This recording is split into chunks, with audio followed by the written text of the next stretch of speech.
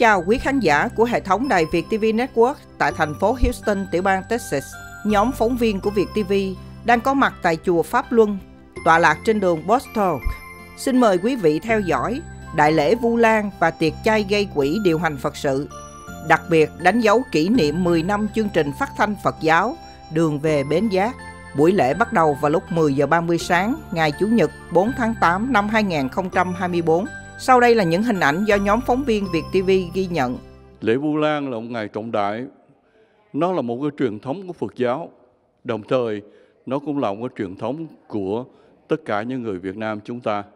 Dù sống ở đâu, tại quê hương cũng như là xa quê hương, chúng ta không bao giờ quên quê hương, đất tổ và quên những cái gì mà chúng ta có ở tại bên Việt Nam. Chương trình được bắt đầu chúng tôi có cái buổi lễ trai tăng vào lúc 10 giờ 30. Sau cái buổi lễ trai tăng đó là cái lễ uh, Vu Lan tổ chức tại chùa. Và sau cái lễ Vu Lan đúng 12 giờ 30 xuống hội trường chùa Pháp Luân để mà chúng tôi bắt đầu cái tiệc gây quỹ vào đúng 12 giờ 30. Và thưa quý vị, đây là một cái dịp để chúng tôi nói lên lời cảm ơn. Thứ nhất là Đài Việt TV. Cảm ơn tất cả quý vị uh, khán thính giả đã nghe và đến đây. Đức Phật nhà dạy là công ơn của cha mẹ như trời biển. Và trong cái nhìn của một giác ngộ đó, thì chúng ta được biết ngày đó rằng chúng ta không bao giờ mà có thể đền đáp đức công ơn của cha mẹ. Dù là vai bên phải của cha, bên trái của mẹ, đi suốt cả trong năm đi một vòng trái đất này phụng dưỡng đầy đủ cơm áo, những nhu yếu thì chúng ta cũng không thể trả công hết. Phật dạy rằng nếu chúng ta có thể đền đáp con ơn cha mẹ bằng sự trợ duyên về tinh thần giúp cho cha mẹ bố thí giúp cho cha mẹ trì giới giúp cho cha mẹ uh, tu tâm được uh, tu diễn tinh thần được thì chúng ta thể đền đáp cha mẹ một trăm phần trăm. Lễ Vu Lan là một ngày lễ uh, rất là khác biệt với những ngày lễ khác trong Phật giáo hàng năm. Bởi vì ngày lễ này uh, kết hợp cả hai phương diện Phật pháp và truyền thống văn hóa dân tộc. Chúng ta thấy rằng ờ, việc thờ cha kính mẹ, thờ phụng tổ tiên và đặc biệt là cầu nguyện cho những người quá vãng ờ, mang một cái ờ, sắc thái rất là đặc biệt đối với đời sống của người con Phật cũng như là người Việt Nam. Sống trong xã hội Tây phương thì chúng ta có ngày hiền phụ và ngày hiền mẫu riêng. Nhưng mà trong Phật giáo thì lễ Vu Lan À, kết hợp cả phụ mẫu, thành ra thường gọi là đại lễ báo hiếu và thưa quý vị à, chúng ta đang sống trong một xã hội bất ổn à, chiến tranh xảy ra và đôi khi giữa con người với con người chúng ta quên hẳn đi rằng mặc dù có những sự giàu có của một tầng lớp xã hội nào đó, nhưng mà vẫn có rất nhiều con người sống trên trái đất này đang sống trong khổ cảnh và những chúng sanh khác nữa. Ngài Vu Lan nhắc cho chúng ta nhớ một điều rằng chúng ta đừng quên những người đang sống trong đau khổ. Trong thời gian này thì chùa cũng tổ chức một cái lễ kỷ niệm 10 năm chương trình phát thanh đường về Bến Giác. Và đây là cũng là một chương trình phát thanh mà quý vị thính giả nào nghe trên đài Việt Radio thì quý vị cũng có thể nghe hàng tuần. À, chương trình phát thanh này thưa quý vị à, có ba cái nội dung chính hàng tuần.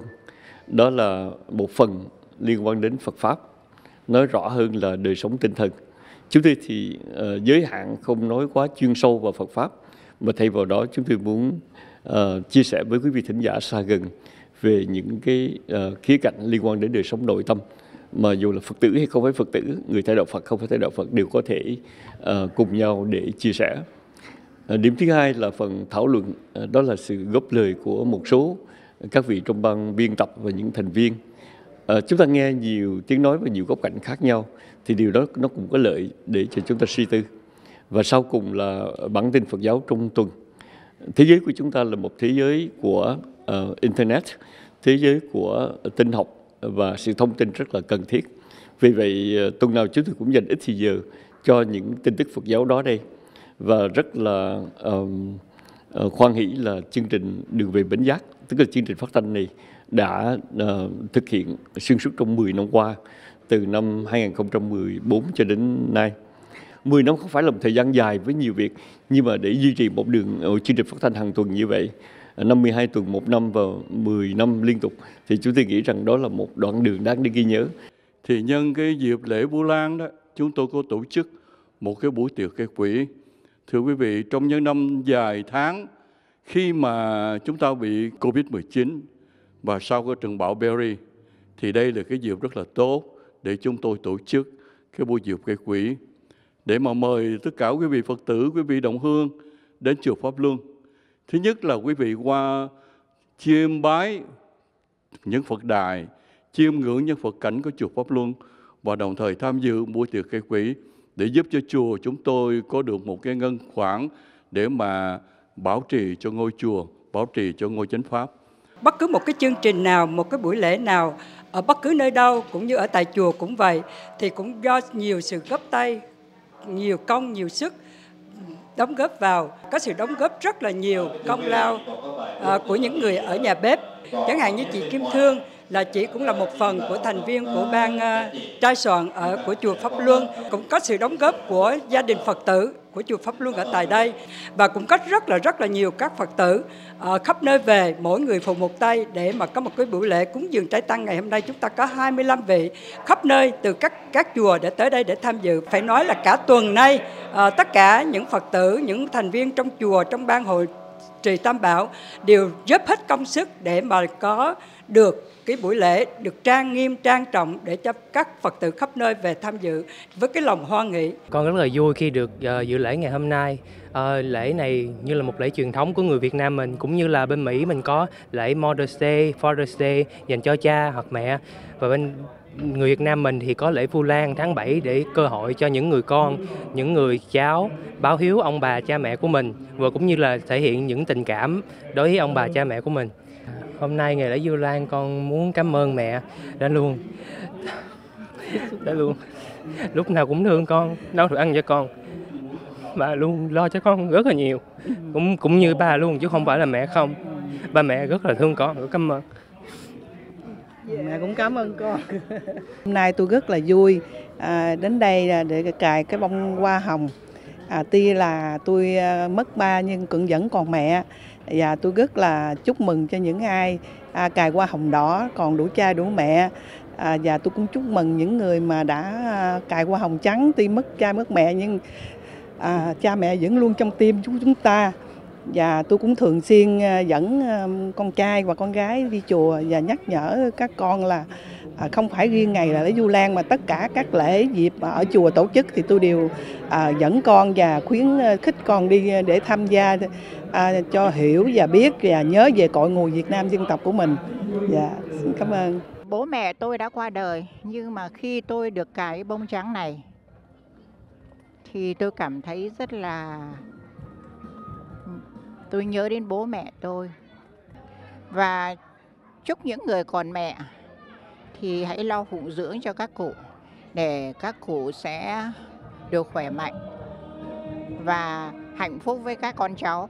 Cứ mỗi dịp Vu Lan đó, thì mình về chùa, khi mà mình về chùa, mình được cài bông hồng đỏ trên ngực áo thì một cái cảm giác rất xúc động vì mẹ còn đó. Đối với hải yến thì bố đã mất, cho nên là chỉ còn mẹ thôi. Thì mình cũng cảm ơn ơn trên là đã cho mẹ còn sức khỏe và cầu chúc mẹ một vu lan thật yên bình. Nhân dịp này thì mình cũng dâng lời chúc sức khỏe đến tất cả à, các ông bà, bố mẹ vẫn đang còn sống và mình hồi hướng công đức cho những người đã khuất và cũng là một cái nhân duyên, Hương xưa sẽ tham dự cái chương trình Đường về Bến Giác 10 năm đài phát thanh và chúng tôi rất vui được mang tiếng đàn của nhóm Hương xưa đến với quý vị khán thính giả.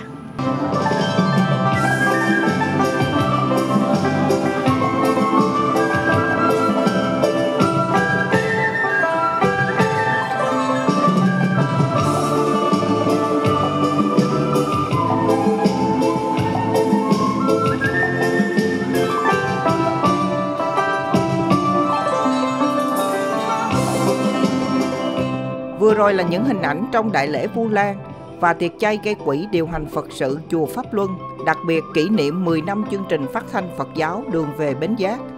Cảm ơn quý vị đã dành thời gian theo dõi. Chúng tôi xin chào và hẹn gặp lại quý vị trong những chương trình phóng sự lần sau. Xin chào tạm biệt.